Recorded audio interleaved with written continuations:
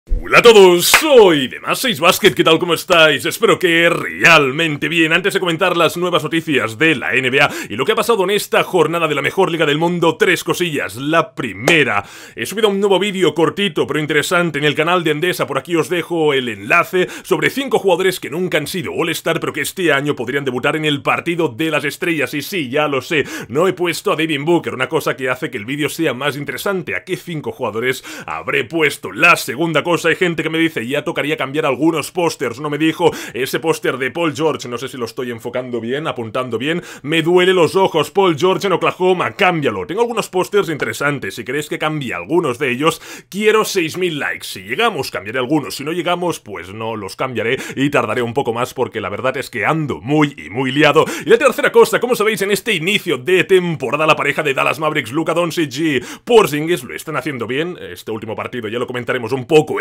pero están ahí, bueno, construyendo algo importante, algo interesante, es atractivo, ¿no? Ver a Luca, ver a Porzingis, y claro, si pensamos en jugadores europeos jovencitos, se nos pasa por la cabeza, aparte de Luca y Porzingis, Nikola Jokic, y tengo un reto, un reto de los que a mí me gustan, Luka Doncic, Porzingis y Nikola Jokic, uno tiene que ser titular, uno lo tienes que meter en el banquillo como suplente, y al último lo tienes que expulsar del equipo, ¿qué harías? Déjame un comentario, yo pondría a Luka Doncic como titular, como suplente Nikola Jokic, y sintiéndolo mucho voy a echar a Porzingis. Me duele mucho, me encanta Porzingis, pero voy a seguir confiando en Nikola Jokic. Bueno, arrancamos con noticias porque ya se está empezando a calentar desde hace tiempo, pero cada vez la maquinaria irá más. La maquinaria sobre los rumores de traspaso de Chris Paul. Bueno, ha tenido un inicio flojo, 13 puntos, en la última campaña 15,6 y donde ha bajado realmente es en el apartado de asistencias, donde él ahí es más fuerte, 3,3 asistencias por partido únicamente. El año pasado 8,2.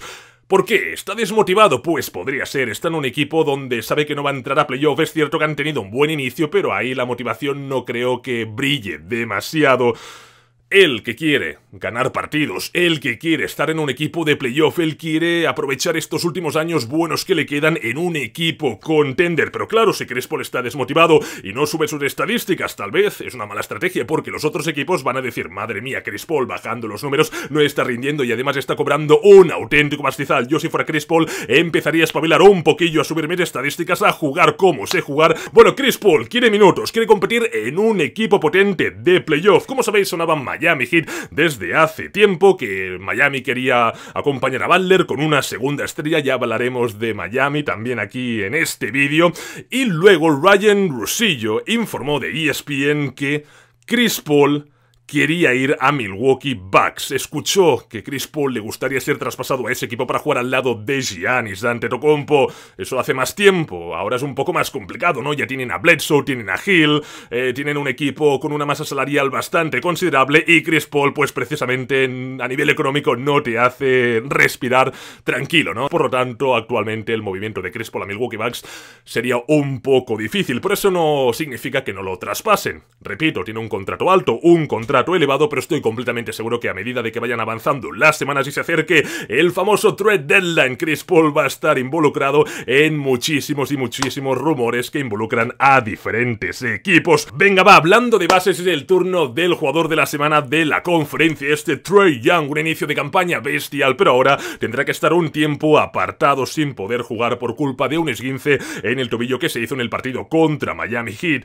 Atlanta respira un poco con tranquilidad, le hicieron unos rayos X, salió negativos, no había nada ahí demasiado preocupante y es más, bueno, le tienen que hacer más pruebas, estaremos atentos a los resultados de estas, pero en Atlanta dentro de la organización se respira tranquilidad, hay optimismo de que no va a ser nada serio. Shemsorania comentó que podría estar fuera un periodo de dos semanas y bueno, pues eso, que una mala noticia, Atlanta Hawks había empezado con ganas ahí, con contundencia, ganando, ganando, ganando, marcando un ritmo alegre y ahora pierden a su estrella que estaba promediando 38 puntos por partido. Miami Heat en esta noche gana Atlanta Hawks en el debut de Jimmy Butler con 21 puntos. Luego tenemos a Goran Dragic que saliendo desde el banquillo sigue cumpliendo 19,5 puntos de media saliendo desde esa segunda unidad. Hoy 21 puntos, pero si hemos de destacar a un gran jugador de Miami, Tyler Hero, que le quiere quitar ese rookie del año a Jamoran, a Zion Williamson cuando vuelva, a RJ Barrett quiere proclamarse como el mejor novato de este año. 29 puntos, 19 de ellos en el segundo cuarto haciendo un auténtico recital y súper acertado con 3 triples. El último rookie de Miami Heat que consiguió notar 29 o más puntos fue Dwayne Wade con 33. Las cosas están funcionando en Miami, tal vez mejor de lo que muchos esperábamos. Y atención porque van 3 a 1, 3 victorias, una derrota y es el segundo equipo de la conferencia este que anota más puntos por partido, un total de 118. Y eso que Jimmy Butler no jugó en esos últimos partidos y ahora ya lo tenemos de vuelta. Y ya que hablamos de Atlanta Hawks, otra cosilla. ¿Qué pasa con Cam Reddish? Esa décima lección del draft para muchos, el posible robo de ese draft. Pues no ha tenido un buen inicio, 4,3 puntos, pero a pesar de esas dificultades, esos obstáculos, el entrenador de Atlanta sigue con confianza, plena confianza en este jugador. Dice que a nivel ofensivo, pues ya le llegará su momento, pero que al menos defiende y es una cosa que a él, al entrenador, siempre le preocupa sobre sus jugadores. Más recitales, Anthony Davis contra los Memphis Grizzlies. Un Anthony Davis que nos sigue preocupando por esas molestias que tiene en el hombro. En únicamente 30 minutos y 34 segundos, en tres cuartos, fue capaz de anotar 40 puntos y capturar 20 rebotes con un magnífico 26 de 27 en tiros libres. Se convierte en el primer jugador de toda la historia que consigue un 40-20 en menos de 31 minutos en la era del reloj de posesión. Además, es el cuarto partido suyo de su carrera con al menos 40 puntos y 20 rebotes y el último jugador de la historia de Los Ángeles Lakers en conseguir estos números en un partido con los Lakers, claro está, fue Shaquille O'Neal. Y hablando de los Lakers y hablando de historia, ¿cuál ha sido el jugador que con la camiseta angelina ha conseguido más veces sumar 40 puntos y 20 rebotes? Pues ni Will Chamberlain ni Shaquille O'Neal, tenemos al mítico Elgin Baylor, que no era muy alto pero tenía una gran facilidad para capturar rebotes, ya lo estáis viendo aquí, hasta en 34 ocasiones firmó un 40-20. Luego tenemos a Will Chamberlain con únicamente 5 y por ahí encontramos algún otro nombre como Shaquille O'Neal con 2. Y bueno, ya que estamos hablando de récords, hemos comentado que el partido de Davis ha sido espectacular, ¿no? Con dominancia. LeBron James está diciendo que todavía no ha salido ni a la superficie el jugador, que tiene un margen de mejora muy grande. Grandes estadísticas, pero si vamos un poco más hacia atrás, ¿qué jugador, qué jugador logró unos números así tan espectaculares con tantos tiros libres? Recordemos, ¿eh? Anthony Davis, 26 tiros libres de 27. Pues tenemos a Will Chamberlain que deja muy pequeñito, dejan en nada esas cifras de Anthony Davis. Will Chamberlain en el 62 terminó un partido con 100 puntos, 25 rebotes y 28 tiros libres. Más buenas noticias para Los Ángeles Lakers cuando recuperarán a Kyle Kuzma, pues parece ser que ya se va acercando ese debut esperado. Según Shams lo podríamos ver este viernes contra Dallas a las 2 y media hora española. Y luego también se comenta que si no debuta contra Dallas, podría jugar en alguno de estos tres próximos partidos que los Lakers van a jugar fuera de casa. Y hablando de regresos, los Warriors también pueden respirar un poco con tranquilidad y felicidad porque el regreso de Willie Cauley-Stein, según Slater, cada vez está más y más cerca.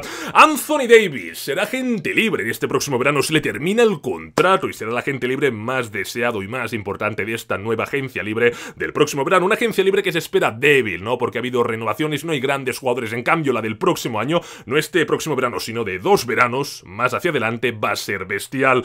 Pues Wojnarowski habló sobre el futuro de Anthony Davis. Había gente que especulaba que si no llegaban a playoff o que si caían eliminados en primera ronda, Davis se hartaría y diría, mira, gracias, he probado esto, pero me quiero ir a New York, era un equipo que yo tenía en mi lista de preferencias, o me quiero ir a otro equipo. Pero Wojnarowski lo deja claro. Nadie cree que Anthony Davis se vaya de Los Ángeles. Otro equipo que va en serio, los Dallas Mavericks. Actualmente tres victorias y únicamente una derrota y hoy consiguen una victoria muy importante contra un rival poderoso, contra los Denver Nuggets. A pesar de la mala noche de Luka Doncic, a pesar de la mala noche de Porzingis, estaban ahí erráticos, estaban desconectados. Pero al final Luka Doncic, jugadores de esa calidad, aunque no tengan la noche en los momentos clave, en los momentos decisivos, acaban apareciendo y te anota una bandejita importante para darte muchas opciones de terminar ganando ese partido, lo que fue clave. Los nueve jugadores de Dallas Mavericks se notaron 10 o más puntos, la anotación estuvo bien repartida y cada jugador aportó su granito de arena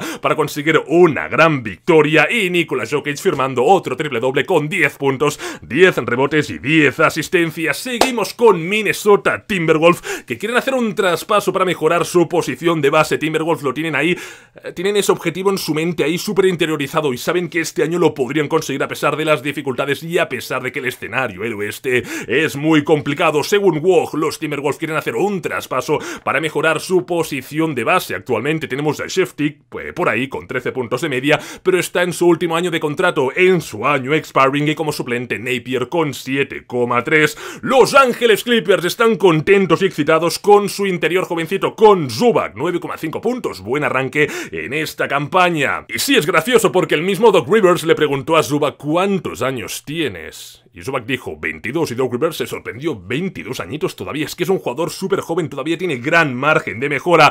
Eh, también este verano los Clippers le pidieron a Zubac que bajara peso y ha bajado de peso. Es un jugador que cumple, un jugador trabajador, un jugador que desde la franquicia de Lakers no le dieron la confianza y lo acabaron enviando a Clippers. Y no únicamente Rivers tiene palabras positivas sobre este jugador, sino que el jugador franquicia Kawhi Leonard comentó lo siguiente, el cielo es el límite para él, puede ser un pivot muy dominante. ¿Qué pasa con Kyrie Irving y sus cambios de humor, ¿no? Últimamente están saliendo informaciones que hay, hay preocupación, ¿no? En la franquicia de Brooklyn por esos cambios de humor de Kyrie, que un día habla con todos, luego no habla con nadie, te genera problemas, la lía un poco. Bueno, ya sabemos que Kyrie Irving tiene un carácter duro, una personalidad un poco complicada.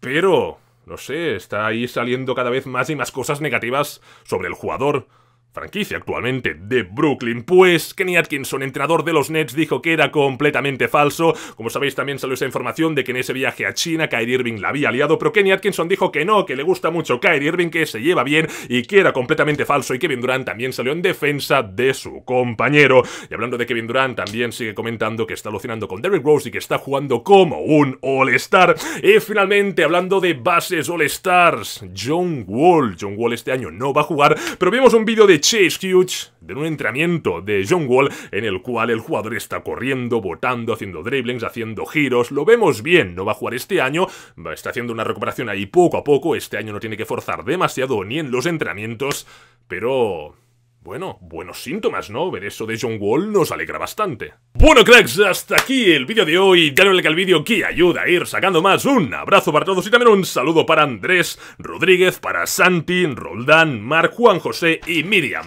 Un abrazo y nos vemos muy pronto.